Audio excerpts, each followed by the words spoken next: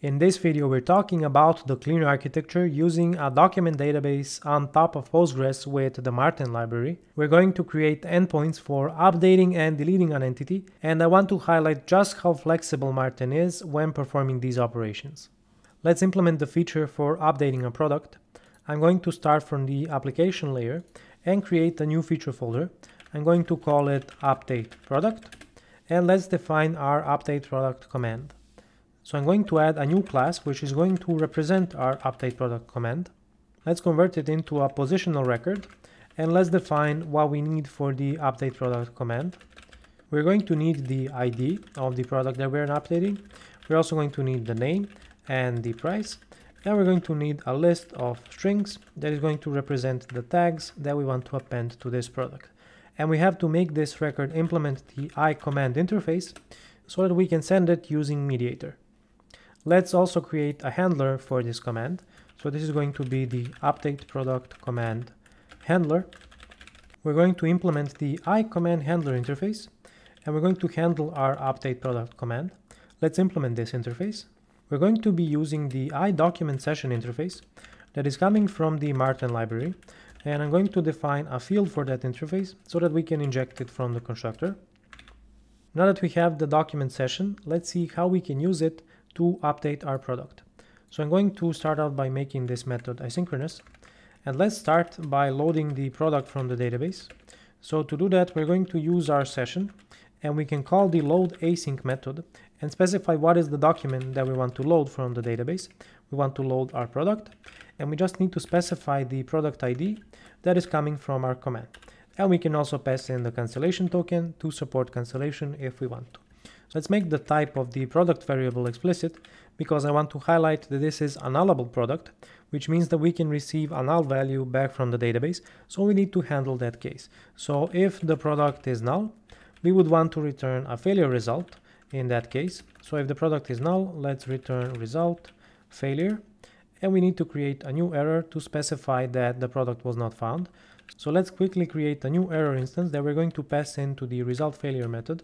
I'm going to give it a code of product not found. And for the error message, let's write something like this. The product with the ID, and let's specify the ID that we got from the route. So this is going to be the request ID. And we can say the product with the ID was not found. So if the product is null, we're going to return a failure result with the appropriate error. Otherwise, if the product was found, let's just update the properties one by one. So we would say product name equals request name, product price equals request price, and we can specify that the product tags equals request tags. So we are not performing any input validation. I'm just assigning the values directly to our product. And now we have to figure out how we want to tell our session that the product is updated. We have a few options here that we can consider. Let's take our document session and one thing that we can do is call the store method and pass in the product. How the store method is implemented is it's going to do an upsert operation on the database. What this is going to do is if the product is not defined in the database, it's going to insert it. Otherwise, if it is defined, like in our case, the product is going to be updated. An alternative to this is we can call session update, and this is going to tell Marten to perform an explicit update on the product the downside is it's going to throw an exception if the product does not exist in the database. So let's go with the session update variation. And to persist these changes, we need to call session save changes async.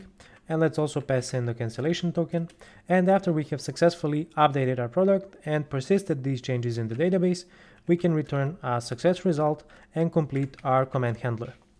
You can see that we're not relying on any automatic change tracking to update our entity. But Marten does actually support this. So let me show you how we can do that. Instead of injecting the iDocument session directly, what we need to do is inject the iDocument store. And this gives us more flexibility when working with Marten. And for this session, what we're going to do is we can create it by creating a new dirty track session. This creates a new document session which supports automatic change tracking. So in our handle method, we no longer have to call the session update method. We can get rid of this. And when we update the product, Marten is going to detect those changes automatically when we have a dirty tracking session open. And when we call the save changes method on the iDocument session, it's going to know how to persist those changes to the database. I personally prefer being explicit, so I'm going to use the variation where I'm telling Marten that it's supposed to update the product. And here I'm actually injecting the iDocument session. So I'm going to quickly revert these changes and let's see what we have to do next. So we have defined our command and our command handler and now we just have to add our minimal API endpoint. We're going to define a put endpoint that is going to handle updating the product. So let's call app.mapput to define a put endpoint. We're going to give it a route of products and we're going to accept the product ID from the route. And we need to define a delegate that is going to represent our handler for this endpoint. So I'm going to make it asynchronous. And the first argument is going to be the product ID which is coming from the route. So it's going to be a long product ID. Now we need to accept an argument from the body, and this is going to be our update product request. Let's go to our create product request class, and we're going to copy it and create a new record, which is going to represent our update product request, because what we can update on the product is the name, the price, and the tags. And let's just move it into a new file. So I'm going to say update product request, give it a name of request, and let's add the from body attribute in front of the update product request to make it explicit that we should be mapping the update product request from the request body. I'm going to move the parameters into separate lines to make it more readable. And the last thing that we need is the iSender, which is coming from the mediator namespace. So now we have our request delegate and we can implement sending the command. I'm going to start by defining the update product command and how we're going to define it is we're going to call request, adapt it to an update product command. And because our command is a record, we can modify it using the with expression to set the ID on our command. And we're going to take the product ID from the route. Now I can send the command using mediator by calling sender.send. And we're going to create a variable that's going to hold the result of our command execution and now we can say if the result is a failure result, so if result is failure, let's return a not found from our endpoint. So I'm going to say results found, and we can give it an object as an argument. So let's return the result error instance as that object. Otherwise, everything completed successfully, and I want to return a no content response. So I'm going to say return results dot no content. So this completes our flow for updating the product and I think it's a good point in the video to ask of you to smash that like button and also subscribe to my channel so that you don't miss any of my future videos. And with that out of the way, we can go ahead and implement our delete product feature. And I'm going to show you something very interesting that you can do with Marten. So let's go and create our feature folder for deleting a product. And let's start by defining a delete product command. So let's create a class delete product command and all that we need on our delete product command is to define the product ID that we're going to be deleting so I'm going to say this only has an ID of the product and let's make it an I command all right so this takes care of defining the delete product command and let's add the command handler that is going to handle our delete product command I'm going to make this class sealed and we're going to implement the i command handler interface and specify our delete product command. And as before, let's implement this interface. So we're going to need our document session so that we can work with the database.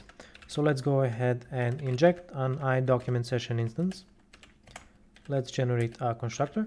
And now we can go ahead and implement our handle method. And here we have quite a bit of options because Marten is very flexible with how you can delete your entities in the database. I'm going to show you three options here for deleting the product and I'm also going to mention the soft delete support that Marten has. If you don't want to load the entity from the database to check if it exists, then it's very straightforward. You just call session delete, specify which entity you are deleting. In our case, this is going to be the product, and we just give it the product ID. And now when I persist the changes by calling session save changes async, Marten is going to go ahead and delete this product from the database and we can complete our command handler. So I can just say return result success and complete my command handler. So this is one option for deleting the product. I just specify the ID for the product that I want to delete and Marten handles the rest. The second thing that you can do is call the session delete where method and let me specify the product as the generic argument. And now I can define a lambda expression to tell Marten which product I want to delete from the database. So I can define whatever criteria I want. For example, I want to delete all products with a given name, or I want to delete all products that are too expensive. And if you just want to delete a product with a specific ID, then you can write a lambda expression like this. So this effectively achieves the same behavior as in the previous example, it's just more verbose.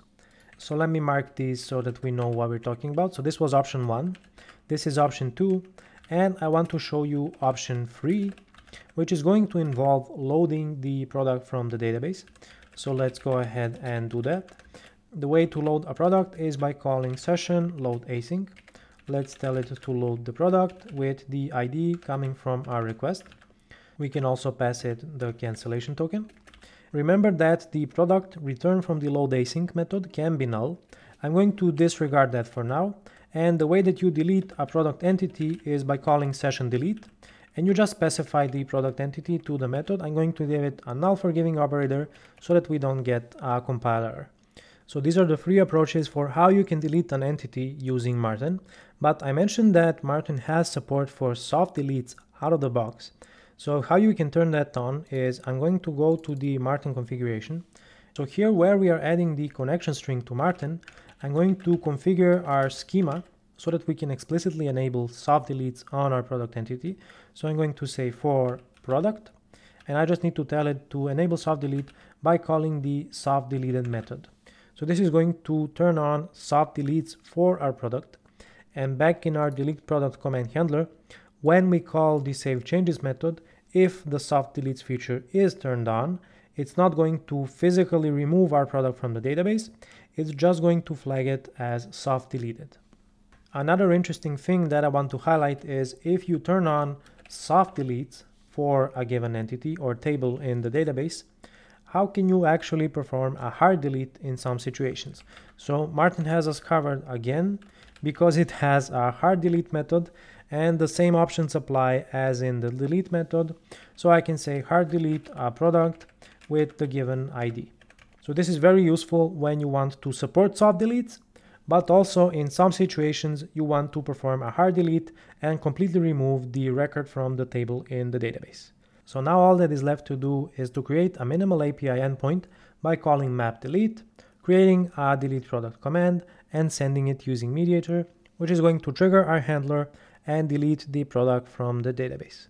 I'm going to leave the implementation for that endpoint as an exercise for you.